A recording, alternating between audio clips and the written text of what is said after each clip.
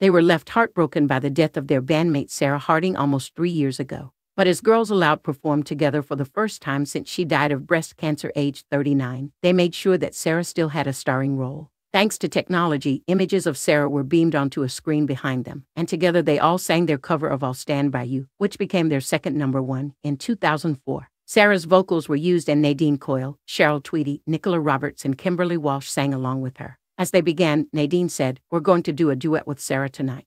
It's going to be us, Sarah, you. Let's do this together. That prompted tears from many among the sellout audience at Dublin's 3 Arena on Friday evening. It was the first night of Girls Aloud's 30 night reunion tour across the UK and Ireland, which they want to dedicate to Sarah. So keen were they to get the tone right, they visited her mother, Marie Hardman, at her home near Manchester to receive her blessing. The band wanted to ensure that Ms. Hardman had a say in what they would be doing and that she was happy with how they presented her daughter. Sources say that after the concert, there were tears shed by the band. Sarah, who was known as Girls Aloud's party animal, which led to her being nicknamed Hardcore, was never far from her bandmates as the concert went on. At the beginning of the gig, footage of Sarah was displayed on a pink curtain as the band sang their 2008 hit Untouchable. They later sang Whole Lotta History, which was dedicated to Sarah as one of her favorites from their back catalog.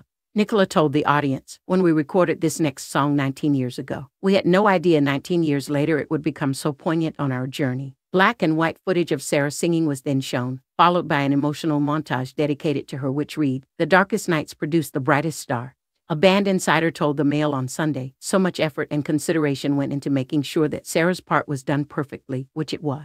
Sarah died in September 2021, just over a year after she revealed she had been diagnosed with breast cancer, which had spread to other parts of her body. Her bandmates were distraught, but it brought them back together after they had split in 2013 when Nadine suffered a career crisis following the flop of a solo album while Cheryl's status soared after she became an X Factor judge. Nadine said she didn't want to break up but was blindsided by the other four girls. The group catapulted to fame in 2002 when they took part in ITV reality show Popstar, The Rivals. They competed for a place in a girl band and were then pitted against a boy band from the show named One True Voice in the hope that their song would become the Christmas number one. Girls Aloud won with their single Sound of the Underground, and they went on to have three more number ones and 20 top 10 hits. Sarah also won Celebrity Big Brother in 2017.